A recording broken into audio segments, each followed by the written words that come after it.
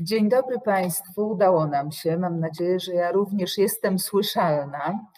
E, I bardzo się cieszę, że mamy dzisiaj okazję trochę czasu poświęcić nieco zapomnianemu, a świetnemu twórcy e, Ludwikowi Jerzemu Kernowi. Będę starała się Państwu przybliżyć jego postać traktowaną,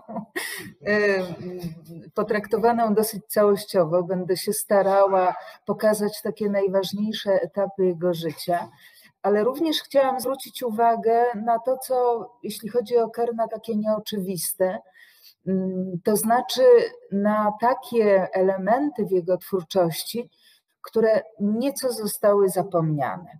Bo oczywiście chyba wszyscy kojarzymy Kerna przede wszystkim z twórczością dla dzieci. Ja sama przyznaję, kiedy zostałam poproszona o ten wykład, pomyślałam sobie, o Boże, to wrócę do swoich ulubionych lektur z dzieciństwa, czyli do Ferdynanda Wspaniałego i do Proszę Słonia. Potem według tych książek zostały mm, również zrealizowane dobranocki dla dzieci i to byli tacy ważni bohaterowie. Ale kiedy sobie zaczęłam uświadamiać, kim jest Kern, to zrozumiałam, że jego twórczość, ale też jego talent y, daleko wykracza poza twórczość dla dzieci, znakomitą skądinąd. I właściwie chciałabym rozpocząć nasze dzisiejsze spotkanie od akcentu nieoczywistego, bo rzadko kto już dziś kojarzy Kerna jako świetnego autora słów do piosenek. Warto sobie uświadomić, że y, Ludwik Jerzy Kern urodził się niemal 100 lat temu, bo 29 grudnia 2000, y, przepraszam, 1920 roku, a zmarł 10 lat temu, bo w 2010 roku. Mamy zatem taką okazję wyjątkową. Co prawda, sama jestem nieco y, przeciwna y, rocznicowym okazjom, ale ta akurat ma swój sens, bo rzeczywiście możemy sobie przypomnieć znakomitego twórcę. Y, urodził się Kern, co dla nas, Łodzian, pewnie nie dla wszystkich Państwa ma aż tak duże znaczenie, w Łodzi właśnie, przy ulicy Piotrkowskiej.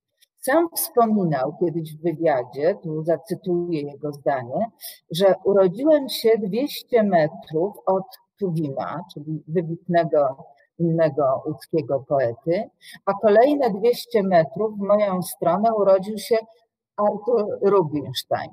Można by zatem powiedzieć, że już samo miejsce, w którym urodził się Ludwik Jerzy Kern, było absolutnie y, wyjątkowe.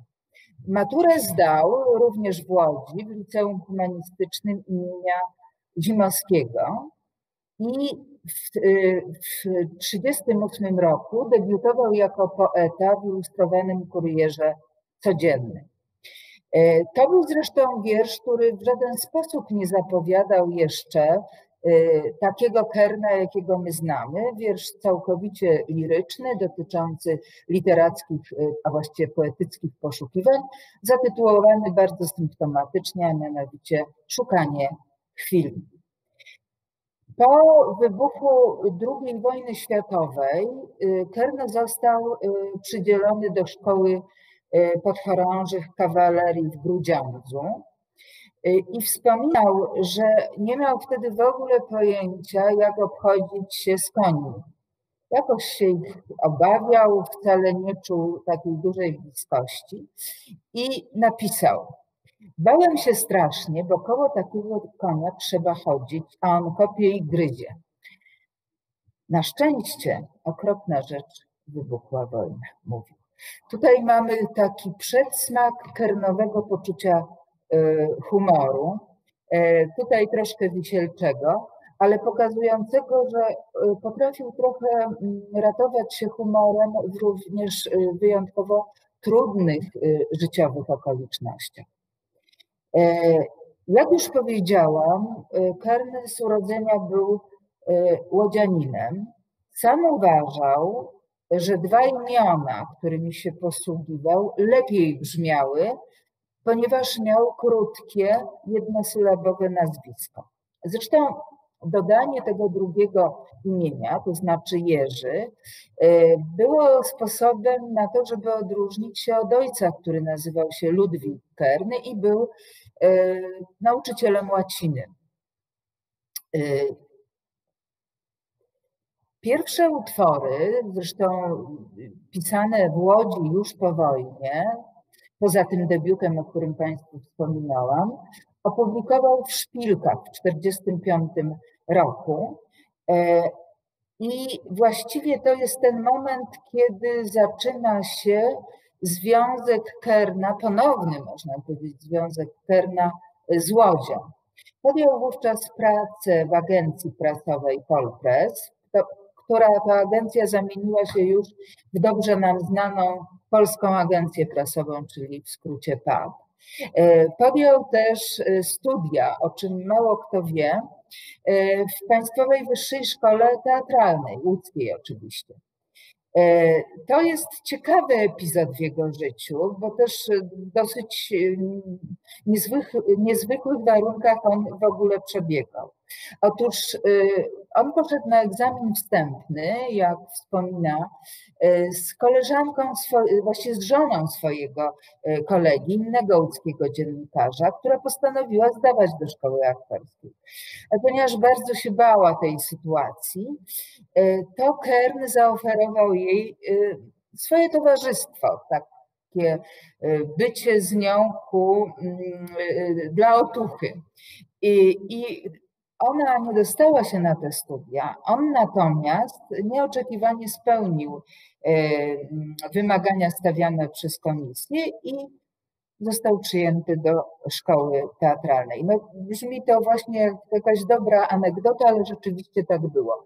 W innym wywiadzie, którego udzielał Kern, wyczytałam, że stało się to zapewne dlatego, że on wówczas recytował Kolczyki Izoldy, dopiero co opublikowany wiersz Konstantego Ildefonsa Gałczyńskiego i komisję zafascynował ten tekst w części dużej nie znali go w ogóle.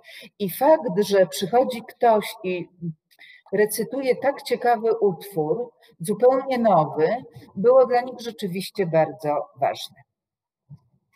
E, po tym łódzkim okresie zaczyna się w życiu Terna E, czas wyjątkowy, o którym e, będę chciała Państwu trochę szczegółowiej opowiedzieć, e, też nam niestety chyba wypadną różne materiały, ale to nie szkodzi, poradzimy. Aha. Poradzimy sobie bez tego, jeśli się okaże niemożliwe. Jeśli się okaże możliwe, to z nich skorzystamy. Tutaj rozmawiam na boku z panem informatykiem, co nam się uda zrobić. E, otóż e, zaczyna się działalność Kerna przede wszystkim jako satyryka. E, ten tytuł naszego mm, dzisiejszego spotkania, facet, który pisze wiersze, jakbym się oczywiście sama nie ośmieliła tak nazwać Ludwika Jerzego Kerna, to jest jego określenie. On twierdził, że ucieka od jakichś takich jednoznacznych etykietek, jednoznacznych uporządkowań. Nie chcę być ani e, panem, który pisze książki dla dzieci, przede wszystkim ani satyrykiem, ani tym bardziej lirykiem.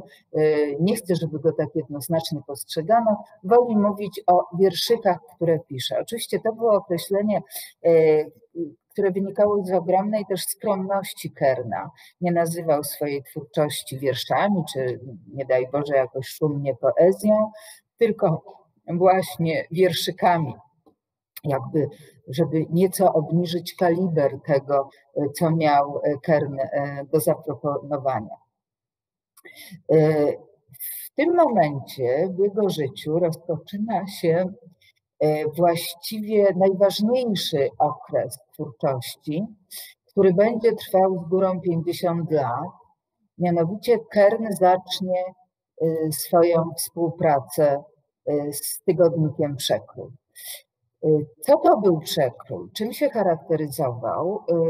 O tym za chwilę powiem, ale na początku powiem, co na ten temat, zacytuję, co na ten temat powiedział sam Ludwik Jerzy Kern. Otóż Kern mówi tak, kiedy przekrój się formował, czasy były koszmarne, bo panował nad nami ten z wąsami.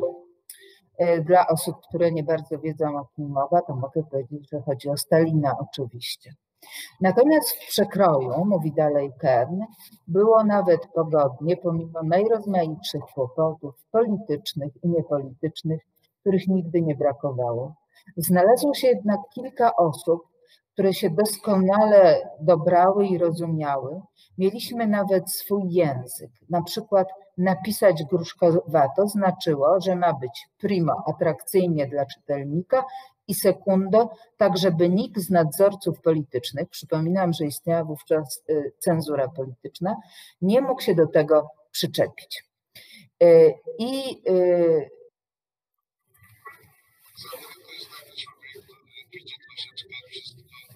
to mówi Kern oczywiście.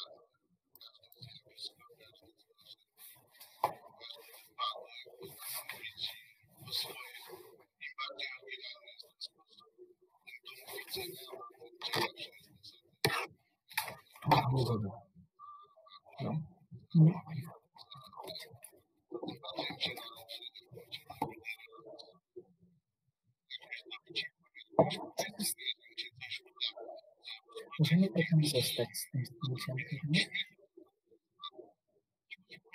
Teraz zatrzymamy i zostaniemy z tym. Czy nas słychać?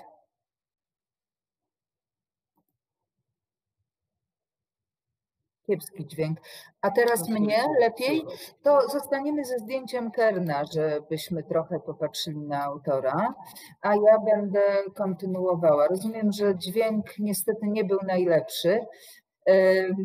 Chciałam po prostu, żebyście Państwo usłyszeli głos autora i to, w jaki sposób on mówił. A teraz wrócimy do jego opowieści o przekroju. Y, sam mówił tak, i teraz to ja już zacytuję, bo rzeczywiście pewnie jestem lepiej słyszalna. Y, Kern powiedział, dzięki przekrojowi poznałem wybitnych pisarzy, poetów, plastyków. Jazzu uczył mnie tyran, polszczyznę studiowałem u kolegów redakcyjnych, wybitnych polonistów, Jana Błońskiego i Henryka Markiewicza. Rzeczywiście to byli znakomici profesorowie y, katedr na Uniwersytecie Jagiellońskim.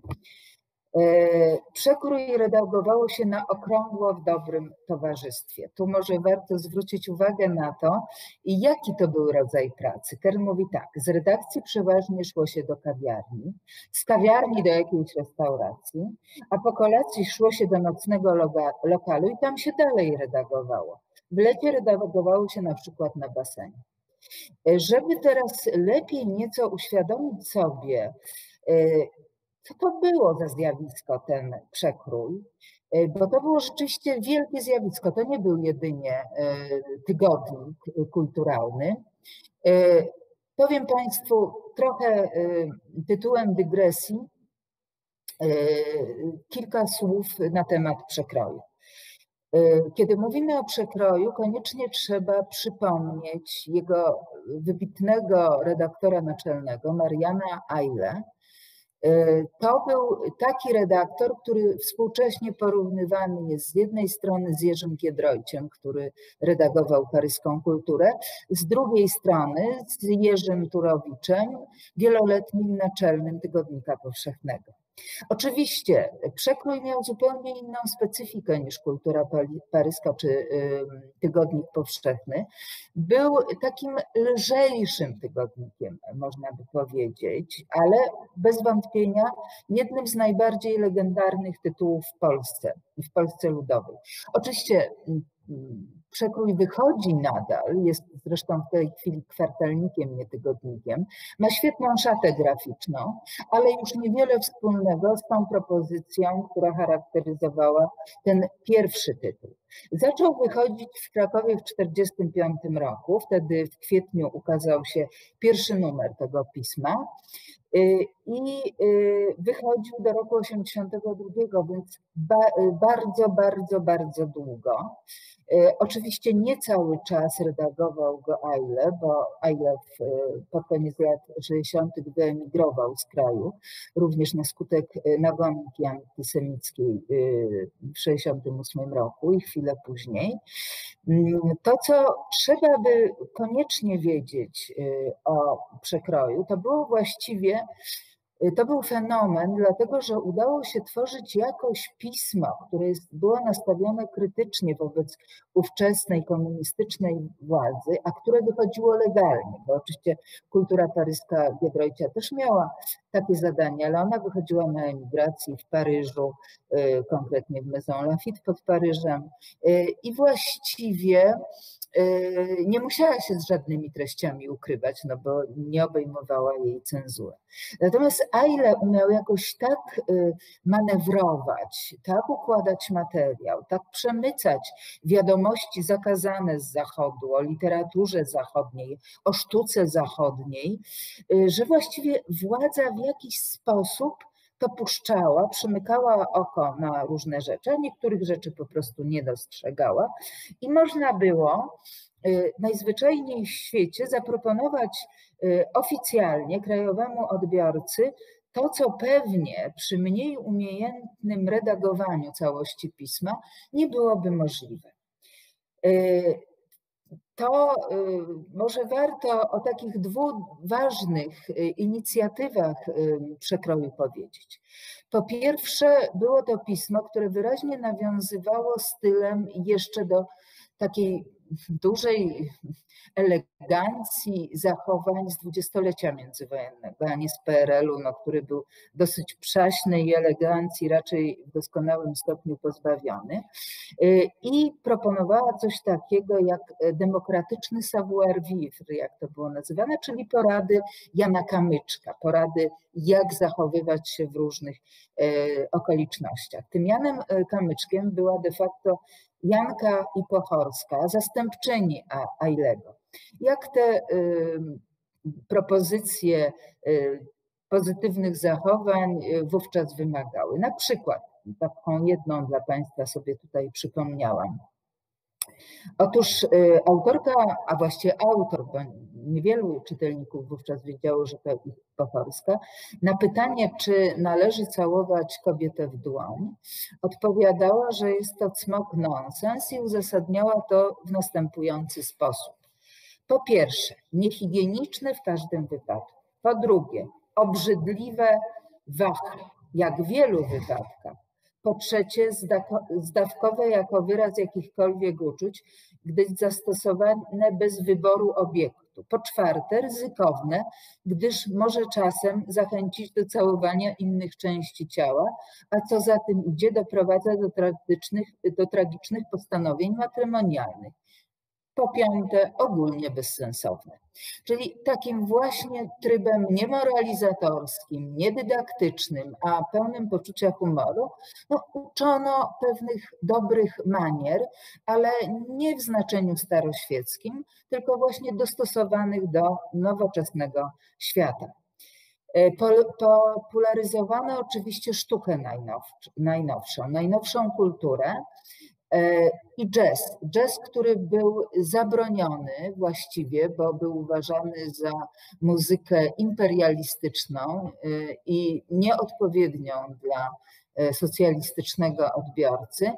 Na łamach przekroju był kącik poświęcony jazzowi. I jeszcze jedna ważna sprawa, zwłaszcza dla pań niesłuchających w każdym wieku, tam właściwie w czasie mm, PRL-u istniała jedyna rubryka bardzo nowoczesna poświęcona modzie. E, prowadziła ją przez lata Barbara Hoff, e, która nie była z wykształcenia projektantką, ale była historykiem sztuki i starała się przemycić trochę informacji e, dotyczących tego, co jest modne na zachodzie, co się nosi, ale co istotniejsze, jak zrobić takie rzeczy z tego, co jest dostępne w kraju. No, w kraju oczywiście mnóstwo rzeczy po prostu nie było. I jednym z takich większych jej sukcesów y, było mm, pokazanie, jak na przykład zrobić bardzo eleganckie buty z trampek tam, poprzez obcinanie, malowanie i tak dalej. Bardzo to było ciekawe przedsięwzięcie. Potem y, może starsze uczestniczki wykładu pamiętają, powstał sklep Hof, Hofland w Warszawie i tam oczywiście ciągnęły tłumy. I to jeszcze był czas, lata 70., kiedy oczywiście istniał ten stary przekrój kiedy Hof, również na jego łamach, prowadziła nadal swoją rubrykę. Co tam robił Kern? W tym świetnym, inteligenckim piśmie, e, które odznaczało się dużą klasą, dużym poczuciem humoru, tym, że publikowali na jego łamach znakomici autorzy, zarówno felietoniści, pisarze, tam zresztą też byli znakomici graficy, którzy się zajmowali e, taką stroną graficzną pisma właśnie. Otóż Kern zaproponował, po Waldorfie zresztą, po Jerzym Waldorfie, który w pewnym momencie odszedł z redakcji, bo przenosił się z Krakowa do Warszawy, zaproponował ostatnią stronę. Ta strona wyglądała zupełnie niezwykle. Możecie Państwo sobie obejrzeć tę stronę i wszystkie numery przekroju, ponieważ one są dostępne online. Jak Państwo wpiszecie przekrój archiwum, to od pierwszego numeru z 1945 roku po numer ostatni możemy wszystkie y, te numery obejrzeć, zobaczyć. No nie mamy tutaj na to w tej chwili miejsca. Natomiast Kern zajmował się tak zwaną ostatnią stroną przekroju, która de facto była ostatnią, ale była niezwykła. Ja pamiętam, że w moim domu, jeszcze kiedy byłam dzieckiem, moi rodzice mm, czytywali regularnie przekrój i zawsze lekturę przekroju rozpoczynało się właśnie od ostatniej strony. To były tak zwane rozmaitości, i tam bardzo różne rzeczy były. Zawsze był jakiś wiersz Kerna, taki satyryczny. Zaraz do jego satyrycznej twórczości przejdę, będę się starała ją dokładniej Państwu przedstawić. E, po drugie, była, był tam, e, były rysunki Lengrena, które przedstawiały przygody Filutka i psa. E, były, była saga rodu tak zwanych falczaków, taka saga przeciętnego polskiego obywatela w różnych sytuacjach. Potem zaczęły być też bardzo śmieszne, nadsyłane różne zdania, naprawdę w sposób oczywiście niezamierzony, komiczne, z wypracowań uczniowskich.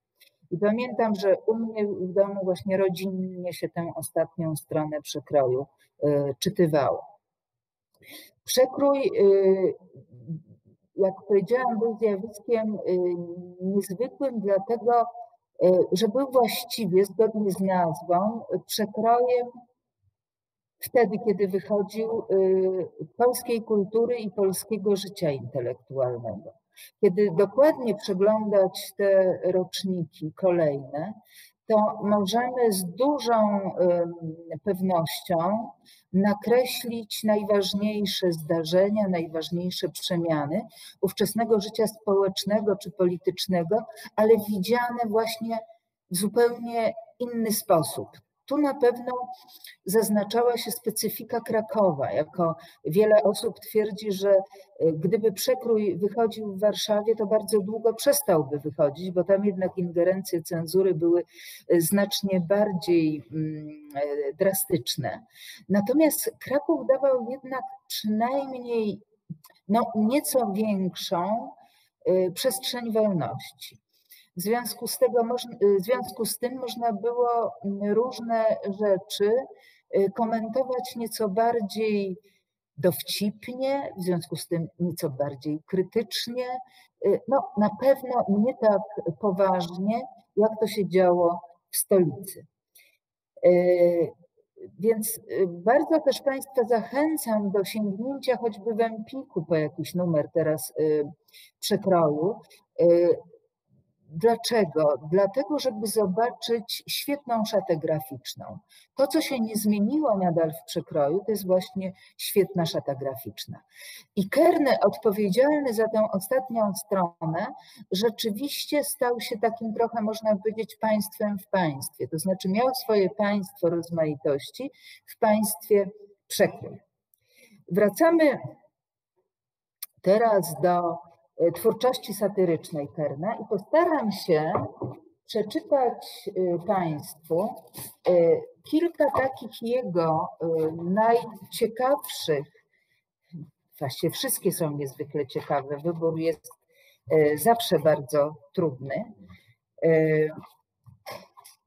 Kilka satyrycznych tekstów, które, jak mi się wydaje, nie zatraciły swojej aktualności również współcześnie. Pierwszy z nich nosi tytuł Śmierć w kręgu rodziny. Jest cicha wieczorowa pora, siedzimy całą rodziną frontem do telewizora. Dziadkowie, rodzice, synowie, córki, a na ekranie same wybiory. To znaczy tacy panowie i panie, to są specjalnie wybrani, żeby nas bawić na małym ekranie. Wieczór taki spokojny, milutka atmosfera i tu ni stąd, ni zowąd czuję cholera, że coś umiera. Patrzę na dziadka, co zjadł przed chwilą sześć pączków firmy Blikle, czy dziadek się czasem nie kończy. Nie, dziadek jest wesolutki, jak zwykle. Jedna babcia różowa, druga babcia różowa, uśmiechnięta synowa, pełna werwy teściowa, wszystkie wnuki w porządku. W porządku ciocia Mila, która widać w półroku Pepsi z rumem właśnie wychyla. Na koniec wzrok mój trafia na postać wuja Zdzicha, ale on przysnął tylko. Dycha. A jednak nie mogę się pozbyć dziwnego niepokoju, bo czuję, wyraźnie czuję, że coś w tej chwili i to tu, w tym pokoju, umiera. Jeszcze raz przeskakuje wzrokiem od głowy do głowy i nagle wiem, co umiera. To umiera piękna sztuka rozmowy. Wydaje mi się, że w naszych y, czasach, kiedy mamy nie tylko telewizję z dwoma programami, ale telewizję z kilkunastoma, e, kilkudziesięcioma, może niektórzy z kilkuset programami, no i oczywiście różne Netflixy, inne platformy, e, to e, jest e, wiersz, który bardzo w istotny sposób pokazuje również naszą bolączkę i naszych relacji międzyludzkich. Kolejny wiersz Kerna, no bo nie mogę mówić o Kernie nie prezentując jego twórczości, ma tytuł Wr. Gdzie indziej słońca mniej jest na niebie i smutniej i wiele kwaśniej, lecz nigdzie tak się nie warczy na siebie jak u nas, jak u nas właśnie. Mijają wieki, nic się nie zmienia, roczek za roczkiem upływa. Do wzajemnego nasie warczenia dryk mamy od piastów chyba. Warczy się u nas we wszystkich sferach, od rana do wieczora, Konduktor warczy na pasażera, pasażer na konduktora. Warczą na siebie teściowa z zięciem, warczą najczęściej dlatego, żeby po prostu swoim warknięciem ubiec warknięcie drugiego. Rzadko dziecinę, biorąc ogólnie, znajdziesz, by nie warknęła. Polski Romeo walczy, warczy na Julię, a Julia na Romea. Od takich warknięć ludzie na świecie dawno mieli fioła, w każdej gromadzie, w każdym powiecie pełno tych warknięć dokoła. Deszcz ich nie niszczy, ani posłucha, wyjdź tylko z domu, wystarczy. Zaraz się cudzych warknięć nasłuchasz i sam się zdrowo nawar nawarczysz. Nie da się faktów tych ukryć w cieniu, wieść się po globie niesie, nawet poznaje się po warczeniu polskie anioły w niebiesiech. Warczenie, zaraz dowód dostarczę, jest naszym mieczem i tarczą. Ja także warczę. A na co warczę? Ja warczę na tych, co warczą. E, myślę, że udało się tutaj Kernowi pochwycić naszą niespecjalnie chlubną cechę narodową, Znaczy ogólnie nie najprzyjemniejsze nastawienie do siebie. To widać chyba nadal na każdym kroku. Nie wiem, czy nie wyraźniej jeszcze, no mamy szczególne też czasy, niż y, wtedy, kiedy wiersz powstawał. Tak jak Państwo widzicie, jak to staram się tutaj przedstawić, y, Kern był y, przede wszystkim satyrykiem. Sam mówił o tym, że chciałby jako satyryk z jednej strony pokazywać ludzkie wady i ułomności, ale z drugiej strony nie chciałby na ten temat jakoś natrętnie moralizować, nie chciałby pouczać, nie chciałby mówić, jak należy się zachowywać. Pełnił trochę taką rolę, to może jeśli nas, y, jeśli y, uczestniczą w tym wykładzie uczniowie y, szkół średnich, trochę chciał być takim Krasickim współczesnym, prawda? Krasicki pisał bajki, pokazywał różne nasze wady i przywary i podobnie było z Kern ale to miało być podane lekko, z wdziękiem. E, zwróćcie Państwo uwagę, że wszystkie te teksty, które tu przytaczam, jeszcze będę e, kilka innych Państwu prezentować, e, są tekstami rymowanymi. To jest duża rzadkość we współczesnej poezji ponieważ w większości współczesne wiersze są wierszami wolnymi, prawda, pozbawionymi rytmu, rymu. Oczywiście trochę inaczej jest z satyrą, bo jednak satyryczne wiersze się rymują. Dla Kerna to było bardzo ważne, bo one po prostu przez te rymy, rytmy lepiej wpadały w ucho, lepiej się y, słuchało, ale też różne frazy się po prostu zapamiętywało. Zatem y, Kern, y, będąc satyrykiem, nie chciał być zbyt złośliwy, nie chciał być w żaden sposób sarkastyczny chciał być delikatnie ironiczny, dowcipny, y, ale też jakoś czuły. To znaczy, takim ważnym wyróżnikiem jego pisarstwa jest to, że on odnosił się z ogromną życzliwością do nas, innych obywateli. Sam siebie zresztą uważał za też takiego typowego obywatela. To świetnie było widać w tym wierszu, który przed chwilą przeczytałam, bo okazuje się, że autor, który do nas mówi tutaj, również warczy, to znaczy jego sposób zachowania nie różni się niczym od sposobu zachowania y, y, pozostałych rodaków. Właśnie ten subtelny żart połączony z taką delikatnością jakąś i, i, i pewnym ciepłem, takim dobrodusznym żartem, to jest coś, co odróżnia Kerna.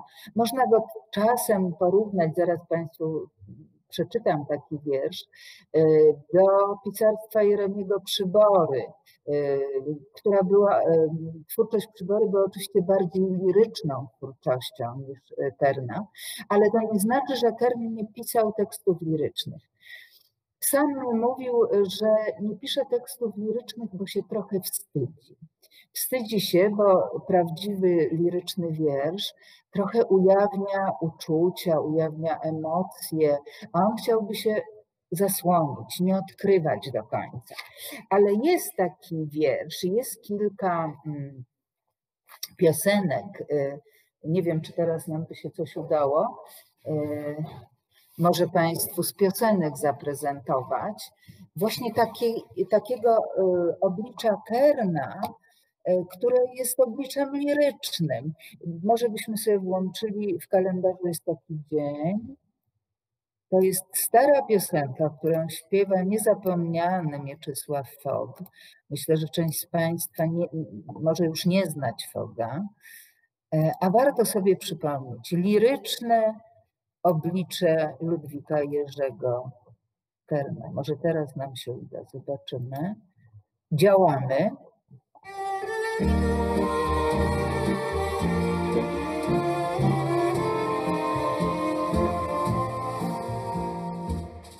po ogrodach wiatr nocą gra, gdy cię ogarnia smutek jak mgła, gdy oczy śmiać się przestają, a sercu jakoś źle.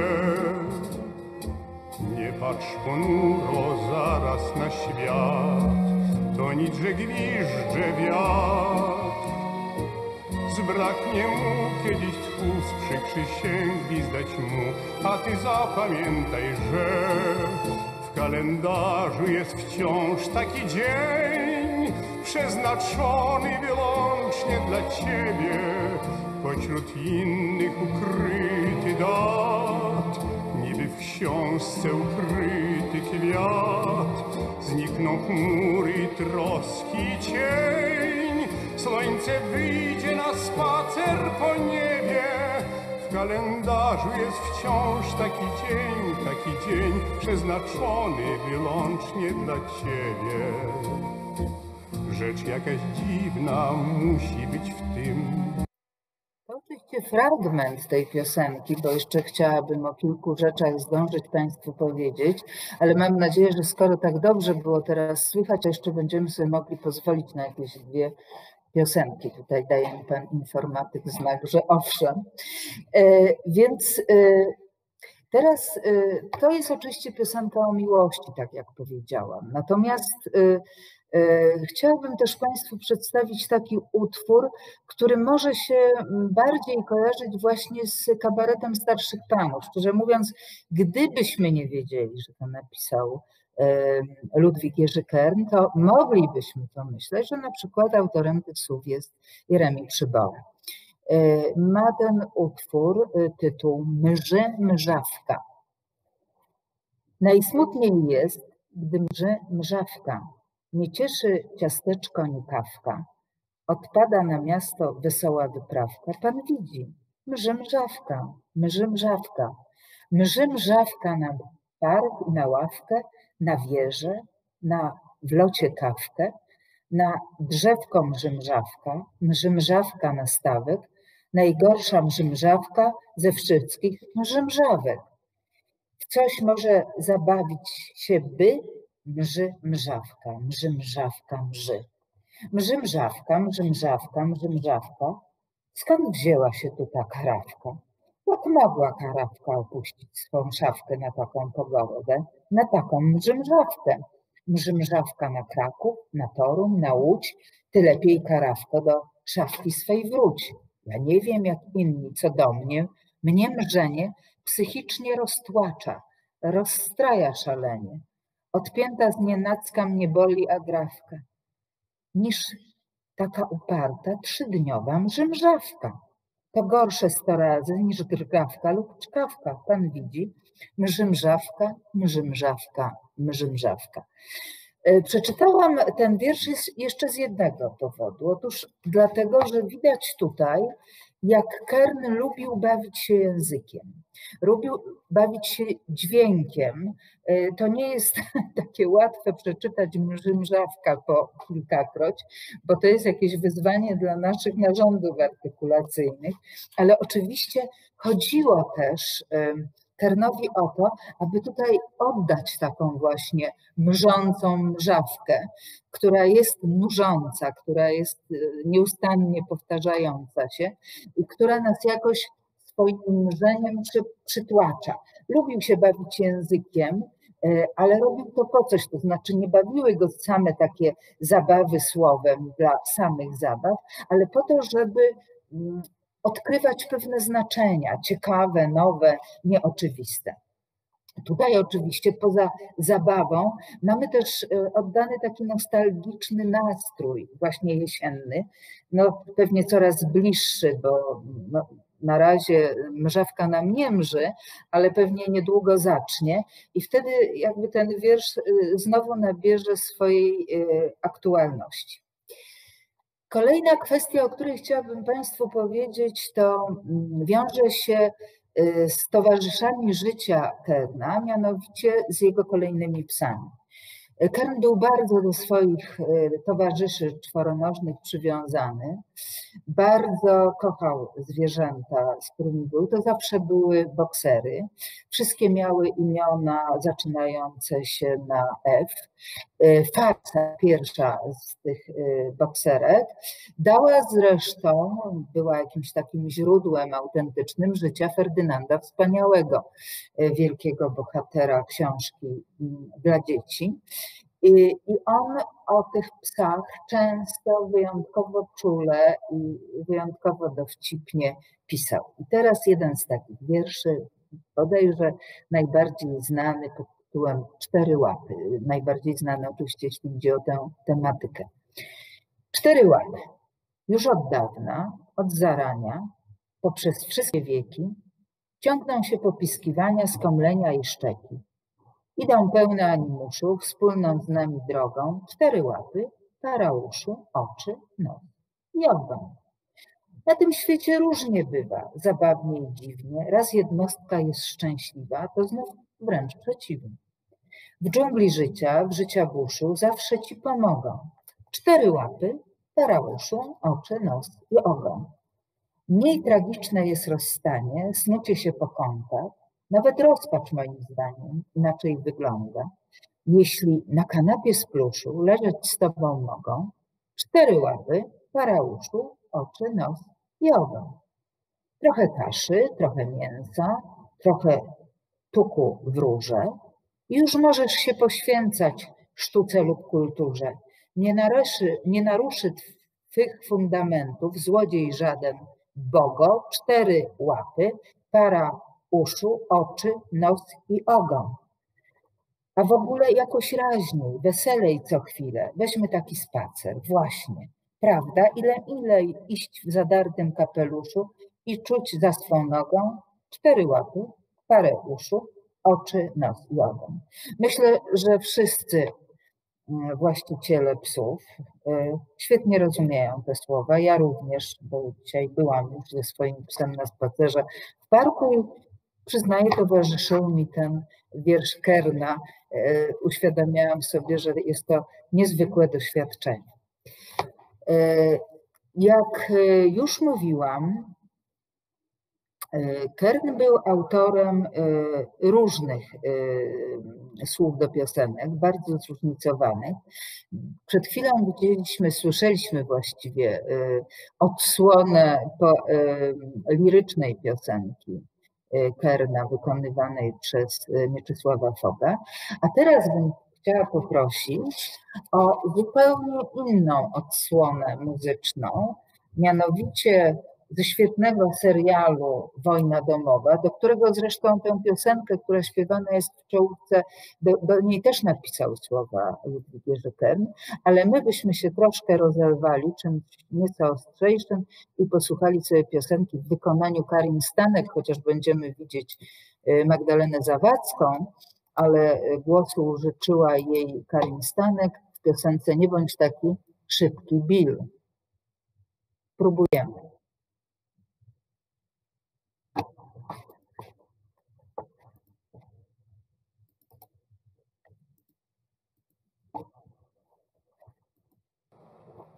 Tak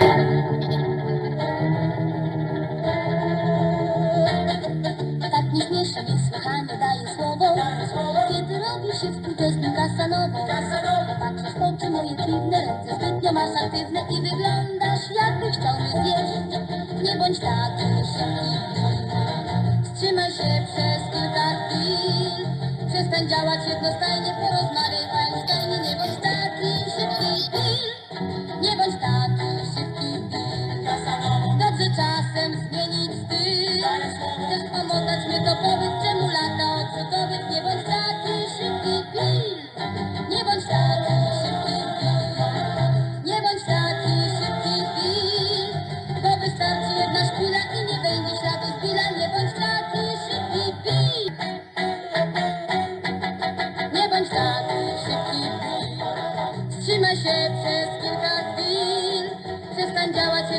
jednostajnie porozmawiaj o Einsteinie Nie bądź taki szybki Bill Nie bądź taki szybki Bill Nie bądź taki szybki Bill Mam nadzieję, że też było słychać tę piosenkę. E, możemy sobie trochę więcej poprzypominać z tych piosenek e, z wojny domowej, świetnych naprawdę, bo one są na YouTubie, możecie je Państwo odnaleźć i wysłuchać sobie spokojnie mm, w domu. Chciałabym jeszcze powiedzieć Państwu o takich wyjątkowych książkach Perna, też mniej znanych, a niesłychanie ciekawych. Jedna ma tytuł Moje abecadłowo, a druga Pogaduszki. Obie te książki są bez wątpienia E, efektem wielu lat e, pracy ze znakomitymi innymi twórcami i słynnymi osobowościami i osobistościami życia kulturalnego e, w Polsce, bo abecadło, właściwie to moje abecadłowo, jak sam Kern mówił w, jednej, w jednym z wywiadów, napisał trochę wzorując się na abecadle Antoniego Słonimskiego, skądinąd też znakomitego twórcy, poety, ale również satyryka. I Kern tutaj y, w tej książce kreśli wyjątkowo sugestywne portrety różnych osób, z którymi się w swoim życiu spotkał. Wybiera różne ciekawe anegdoty z ich życia. Y, to są i trochę czułe, i troszkę złośliwe czasami portrety tych osób, ale nigdy nie są one w stosunku do, y, do nich jakoś nieprzyjemne. E, chciałam Państwu przeczytać fragment, e, w którym on pisze o Marianie Ailem, czyli o redaktorze naczelnym przekroju, e, którego naprawdę bardzo podziwiał i któremu niesłychanie dużo zawdzięczał. Przeczytajmy sobie fragment. Kern pisze tak. Absolutny geniusz redaktorski stworzył i przez prawie ćwierć wieku redagował przekrój, tygodnik, jakiego przedtem w Polsce nigdy nie było. Nie było także czegoś takiego na wschód od Łaby. Pary, paru wybitnych rosyjskich pisarzy, innymi noblista Józef Brocki, przyznawało otwarcie, że polskiego nauczyli się właśnie na przekroju. Potrafił stworzyć taką atmosferę, że nie chciało się wręcz wychodzić z redakcji. Zespół był zgrany nie tylko pod względem merytorycznym, ale i towarzyskim. Dzięki temu redagowało się pismo na okrągło. E, I w nocnych lokalach, i na basenie, a podczas urlopu w jastarni. Powtarzał nam często, że pismo należy tak redagować, żeby mogli je czytać zarówno sprzątaczka, jak i profesor uniwersytetu, a nawet, jak dodawał ironicznie, prosty minister. Umiał zapewnić sobie współpracę najlepszych pisarzy. Jak się już taki pisarz zgodzić, zgodził, Eile natychmiast instruował go. Tylko proszę pamiętać, że dla przekroju trzeba pisać w stylu przekrojowym. Mówił tak oczywiście do Iwaszkiewicza. I pan Jarosław czy pani Naukowska natychmiast to zaakceptowali. Nazywaliśmy go Maniuś Złota Rączka, ponieważ sam wszystkiego pilnował. Każdy maszynopis, rysunek czy złamana już strona musiały trafić na jego biurko. Siedział przy nim w kraciastej flanelowej koszuli, przy deptanych domowych kapciach, bez przerwy czytał i poprawiał. Trzeba przyznać bezbłędnie. Od czasu do czasu jednak zrywał się na równe nogi, łapał się za głowę i krzyczał: Rany boskie! Dlaczego ja to wszystko muszę robić sam?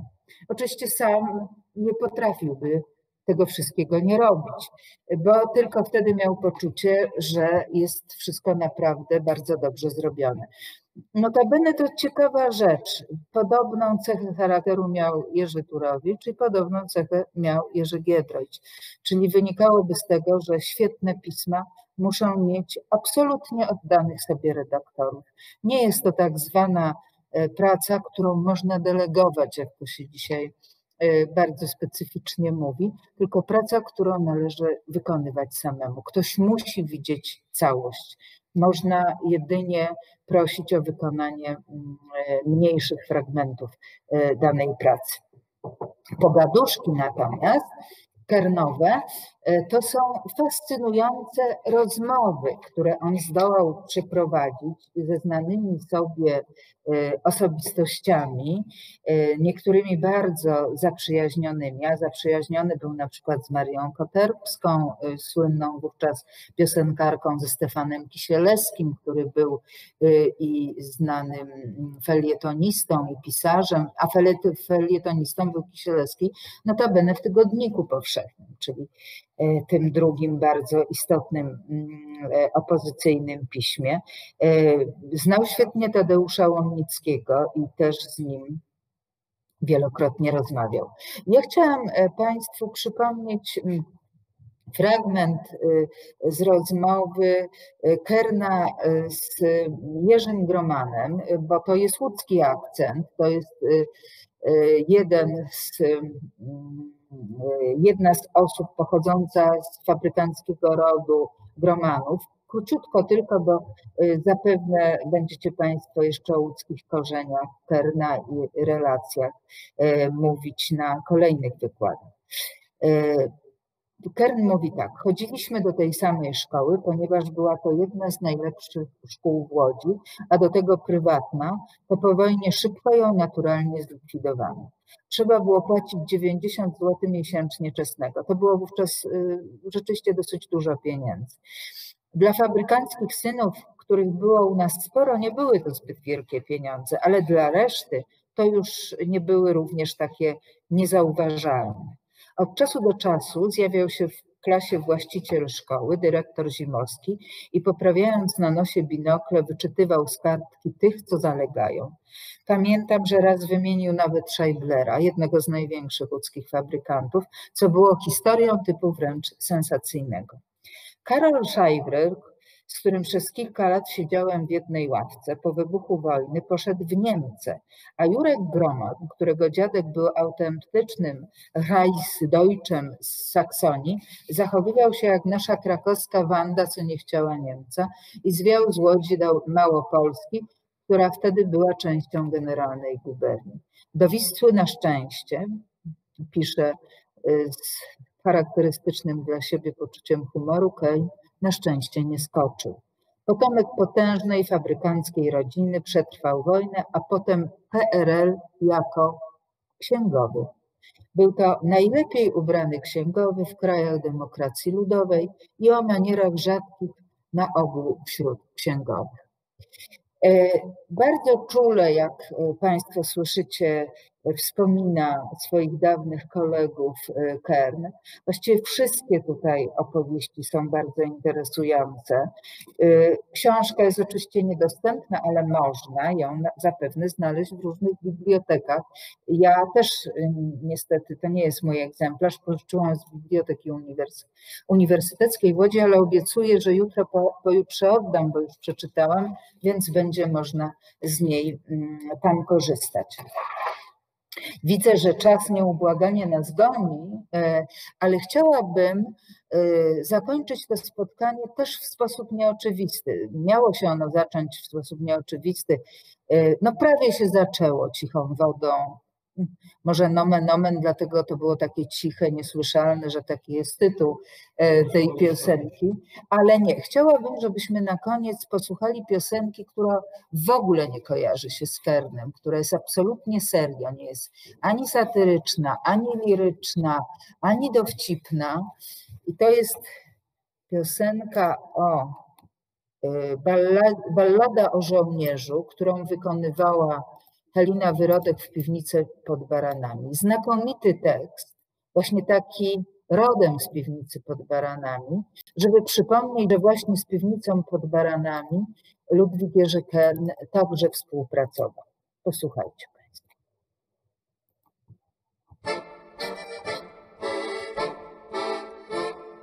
Ujrzała śmierć pewnego dnia żołnierza, co na wojnę szedł na czapce miał on paski dwa, karabin miał i miał bagnet. I tak się zakochała w nim, że otowego dnia, gdzie on, tam ona w ogień, w dym, z nim razem szła i szła. Odczep się, kocha tobą być.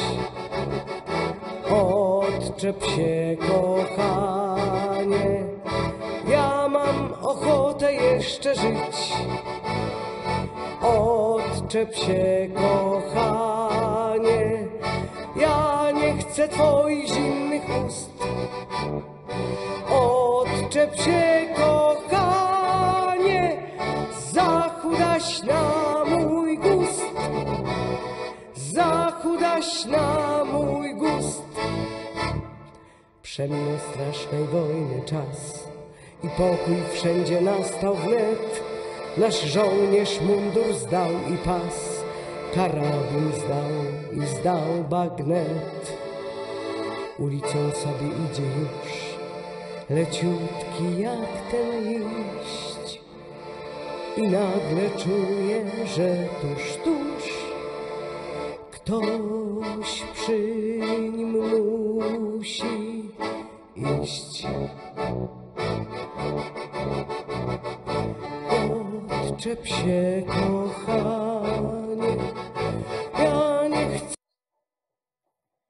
Dla osób, którym e, mam nadzieję spodobała się ta piosenka, e, polecam jej posłuchanie w całości. Ona jest też dostępna na YouTubie, a kończąc już e, nasze spotkanie poświęcone mm, Jerzemu, Ludwikowi Jerzemu Kernowi, chciałabym przekazać Państwu kilka takich mm, wspomnień, które są rzeczywiście rozczulające, wzruszające. E, Przeczytałam, e, byłem wspomnienia jego znajomych, którzy e, sąsiadowali z domem państwa, znaczy Kerna i jego żony Marty Stebnickiej, świetnej aktorki w Rożanowie. I przeczytałam w tych wspomnieniach, że Kern był człowiekiem wyjątkowo skromnym i mm, jakby nie afiszującym się ze swoją twórczością. Wolał raczej słuchać odwiedzających go osób. Był y, nieco wycofany, y, nie lubił rozmawiać o swojej twórczości, unikał tego typu spotkań, chociaż przyjeżdżali do niego z Krakowa, z Warszawy różne znane postaci, to właściwie rozmawiali sobie o takich zwykłych, codziennych sprawach. Bardzo cenił panią, która u nich sprzątała, choć y, znajomość zaczęła się dosyć niefortunnie, bo jak każda porządna osoba sprzątająca, chciała ta pani posprzątać biur- biurko Kerna i zrobiła to. I to był jeden z y, największych błędów, jakie popełniła, ale zainicjował ponoć bardzo bliską y, przyjaźń. Ostatnie lata były trudne, ponieważ Kern był człowiekiem wyjątkowo schorowanym i nie chciał się pokazywać jakoś nawet nie, że publicznie, ale również bliskim sobie osobom w takim stanie. Był na tyle dyskretny, taki elegancki, elegancją nie ze współczesnego świata, w którym wszystko jest do udostępnienia na choćby Facebooku. E, On uważał, że są takie sfery w życiu człowieka, których nie należy pokazywać i mm, został y, jakby sam w całkowitym takim odosobnieniu z najbliższymi ludźmi. No i piękna, piękna rzecz właściwie do dzisiaj na grobie Kerna, co też y, wyczytałam w różnych materiałach. Do dzisiaj pojawiają się rysunki dzieci. Dzieci, które nadal czytają, a jeśli nie, to proszę zachęcać, y, y, utwory Kerna i które te utwory nadal sprawiają im ogromną przyjemność i sprawiają, że trochę inaczej patrzy się na otaczający świat i już od najmłodszych lat. Więc bardzo Państwa zachęcam do y, kontaktu z tą twórczością, trochę dzisiaj zapomnianą, a myślę, że niesłusznie i że bardzo szkoda. Dziękuję bardzo.